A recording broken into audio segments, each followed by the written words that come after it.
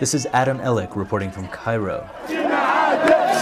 Egyptians went to the polls Saturday in the nation's first fair vote in decades. No! No! To better understand what's at stake, I caught up with Sharif Barakat, an Egyptian who I first met in North America. We want a new constitution, not a few changes. Say no in the referendum. I knew him as a working professional, but now, with his country on the line, he's playing hooky. They pretty much got it figured out. Sharif didn't show up, referendum in two days. I'm a cardiologist. Sharif and his friends have spent the past week campaigning across working class neighborhoods. Uh, the days of online activism and Facebook activism are over. It's only reaching a small segment, so we've got to hit the streets. You've already given so much to it, you don't want to see it all go to waste. Saturday's referendum is to amend the old constitution that existed under Mubarak. Liberals like Sharif are voting no. They want an entirely new constitution. It legitimizes dictatorship. It gives the president ridiculous power. His opponents, Islamic organizations, and Mubarak's former ruling party. Because these groups are more organized, they want to amend the constitution and quickly hold elections. Everyone, and I mean everyone, wanted to talk about their newest hobby, politics. Including officers who aren't even allowed to vote. Imagine two months ago someone stopping you in traffic and talking about the Constitution. No way. That like uh, age group now respects our opinion. They never did before. Are you surprised at the appetite of the people? Very surprised. See, there's a cab reversing.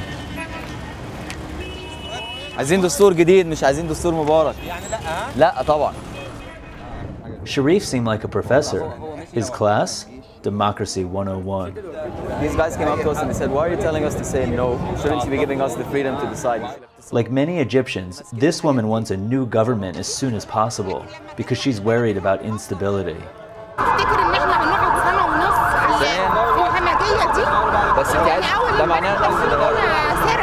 What is she saying? A new constitution will take too much time. But it won't. Sharif's operation's meager compared to the Brotherhood, the country's largest Muslim organization that's warning that an entirely new constitution could leave out Islamic laws. They're definitely steps ahead of us when it comes to the, like, their they presence are. on the streets. They're organized. There are many more in numbers. I mean, there's been money and effort that's gone into this. In fact, the banner in the background is promoting constitutional classes by an Islamic group. Some people fear these groups. He said uh, the Muslim Brotherhood are going to get too powerful if these pass. It's going to turn into Afghanistan. As the day came to an end, we would learn a harsh lesson about Egypt's infant democracy. The young man in the black jacket is named Ahmed, قال لي عايز اصور وانت بتعمل الكلام ده قلت له اهلا وسهلا عشان احنا هنا الكلام ده خلاص في الدوران اقفل دي بس اقفل دي يا عم اقفل دي ثواني بالراحه بالراحه When I shut off my camera, Ahmed punched Sharif's friend. A crowd formed, and we were all detained by police. انت عشان تجيب واحد اجنبي يصورنا اصلا دي غلط دي غلط Just before Mubarak was ousted, his party launched a desperate propaganda campaign accusing foreigners of plotting the revolution. Ahmed believes the conspiracy, and he didn't like Sharif's flyer.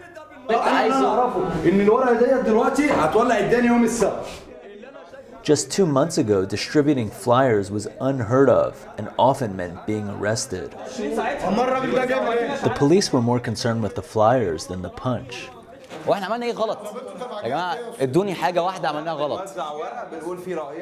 Egypt may be rapidly changing, but in this case at least, the police reflex was still to restrict even the most modest display of political expression. مشكلة حضرتك دي واحدة ايه المشكلة؟ المشكلة ان انت تعديت على الراجل ده والراجل ده تعدى عليك واحد- ففي اجراء هنعمله